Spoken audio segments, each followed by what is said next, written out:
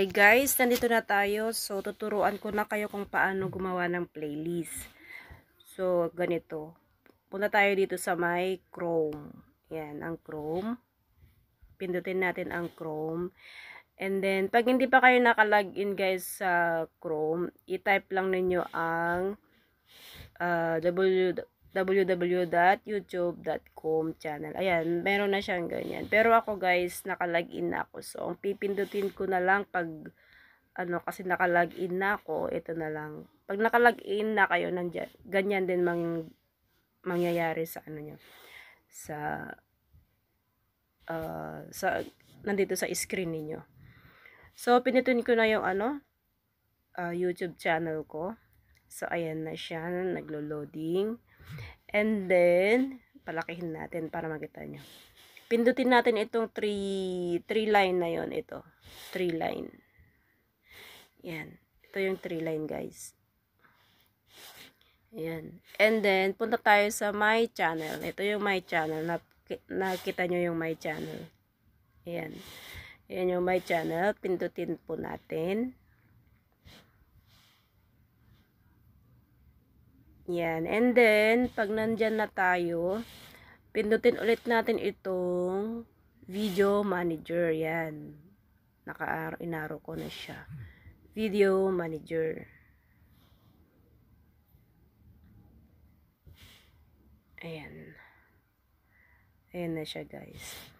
And then after that, pindutin natin itong playlist. Ayan, may playlist dyan. Mabab mababasa natin yung playlist. Ito yung playlist, guys. Ayan. Yan, yan, saan na yan. Pindutin natin, playlist.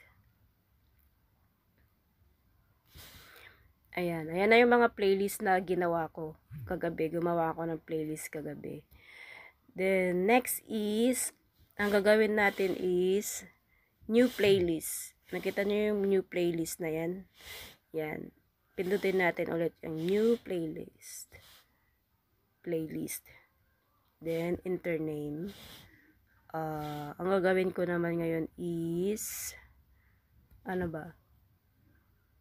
Uh, video, 1 hour. 1 hour. Okay, 1 hour. Kunyari 1 hour. Ayan.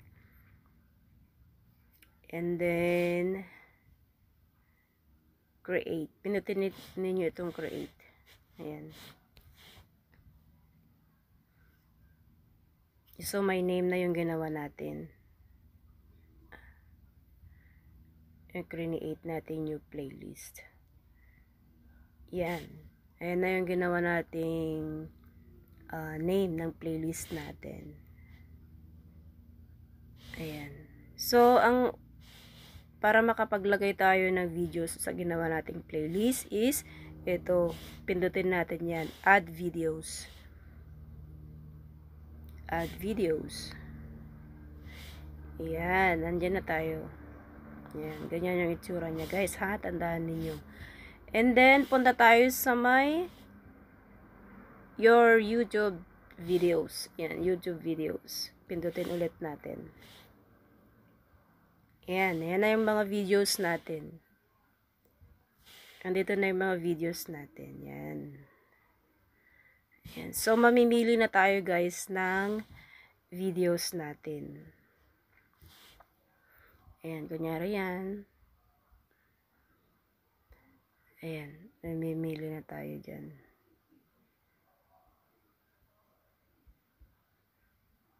Ayan. Depende sa inyo guys kung ano, kung ilang oras ang gusto nyong buuin sa isang playlist ninyo. Or kung gusto nyo naman i-arrange, pwede rin ninyong i-arrange. Kunyari, yung mga videos ninyo na nagluluto, puro cooking lang, i-separate ninyo siya, ganun. Kung kunyari, yung mga gala-gala, gano'n, i-separate din ninyo yung mga ganun para magandang pagka-arrange ng, ano na, ng inyong video. So, ayan guys. And then, and then pindutin natin tong ano, uh, add videos. Ito, yung add videos na yan. Para mailagay sa playlist na ginawa natin yan.